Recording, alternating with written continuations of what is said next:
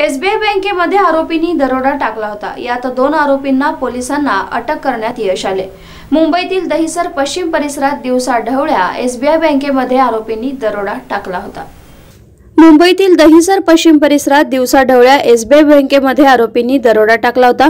या दोन आरोपींना पोलिसांनी अटक केली तर या दोन्ही आरोपींना दहिसरमधूनच अटक करण्यात आली असल्याचं वृत्त मिळते हे दोघे भाऊ असल्याचंही समोर आलं यातील एक आरोपी दहिसरमध्ये भाजी विक्री करण्याचा व्यवसाय करतो तर चुलत भाऊ याला बारा तारखेला बिहारमधून बोलवण्यात आलं होतं.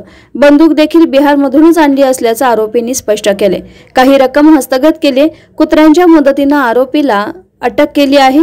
त्यांनी युट्यूबच्या माध्यमातून दरोडा टाकण्याचा शिकला असल्याचं वृत्त मिळत आहे.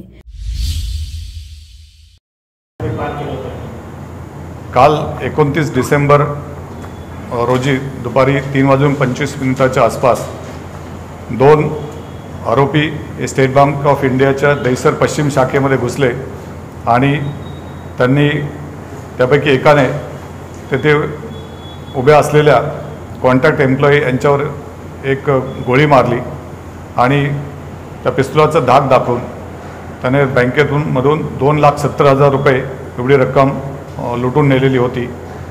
या आरोपींचा शोध घेण्यासाठी आम्ही वेगवेगळी पथके टीम्स तयार केलेल्या होत्या.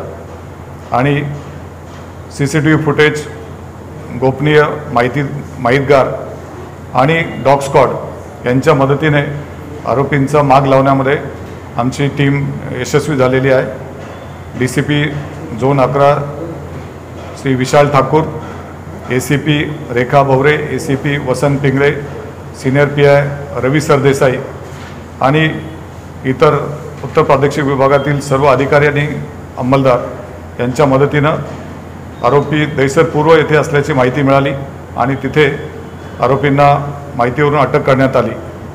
या दोन आरोपींपैकी एका आरोपीनं पिस्तोलनं गोळी मारलेली होती.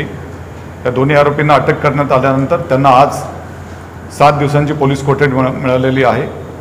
आणि त्यापैकी एका आरोपीकडून या गुन्ह्यात वापरलेले पिस्तोल आणि जी कॅश गेलेली होती दोन लाख सत्तर हजार रुपये त्यापैकी दोन लाख पाच हजार रुपये इतकी रक्कम जप्त करण्यात आलेली आहे. Bureau report SBN Marathi.